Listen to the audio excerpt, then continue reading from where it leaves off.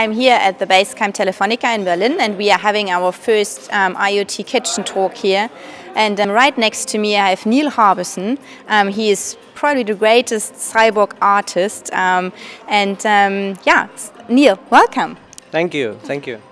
Um, Neil, please explain us what can you do with your antenna on your head? Um, it's an antenna implanted inside my body that allows me to extend my perception of color beyond the visual spectrum. So it allows me to sense infrared colors to ultraviolet colors.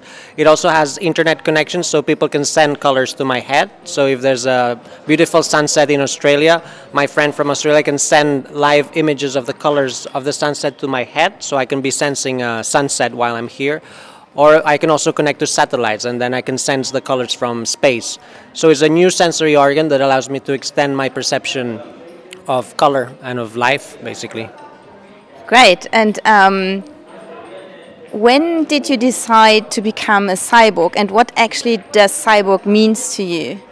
Well, cyborg is the union of two words, cybernetics and organism. So I am a biological cyborg because I am biologically united to cybernetics. So I don't feel I'm using or wearing technology. I feel that I am technology. That's identifying yourself as a cyborg. But then there's also psychological cyborgs, people who might feel psychologically united to cybernetics and they identify themselves as being cyborgs, but they're not biologically united to cybernetics. But you can feel this in language. People maybe 20 years ago would say, My mobile phone is running out of battery. Now people say, I'm running out of battery as if they were the mobile phone. So this is a sign of union between cybernetics and humans. So it's also a psychological cyborgs. Um, I became a cyborg in 2003. I started the project of the antenna 13 years ago, and then it became permanent in 2004. So I've been united to cybernetics for 12 years non-stop now. Okay, and tell me, do you think um, by using technology like you doing it, do you think we, we, are, we become technology somehow as human beings?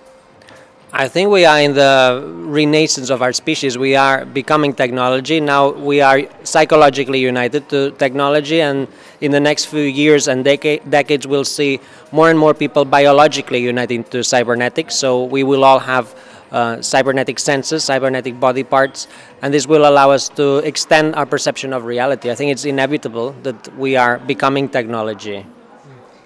And then the next step would be that we need um, something like robo laws, or, or what do you think?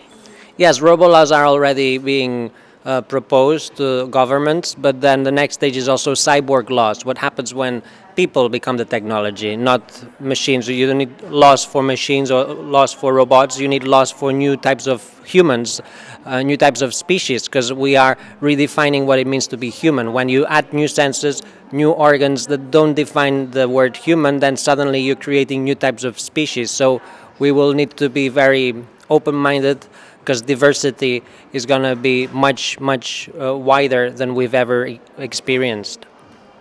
Great. Thank you so much, Neil, and it's a pleasure having you here. Thank you very much. Thank you.